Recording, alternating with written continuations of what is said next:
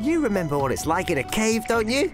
There was no central heating, it was cold, and there was definitely no TV. And as for the kitchen, well, sometimes those cave cupboards were bare. Not that sort. You know, bare, as in empty. Because cavemen had to hunt and gather if they wanted a meal. That's why they ate fats. Fats give out slow energy that keeps you going. It's the type of energy we need when walking, shopping, gardening, or even playing the piano. It wasn't always cool being a caveman. Sometimes it was downright cold.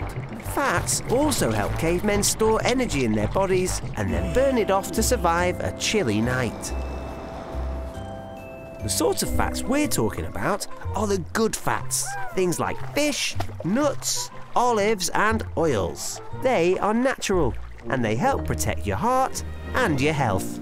But be careful, there are a lot of bad fats too, in things like sausages, chips, cakes, margarine, and sweets. Cavemen just didn't eat those. Today, most people eat too many fats, and usually not the good ones.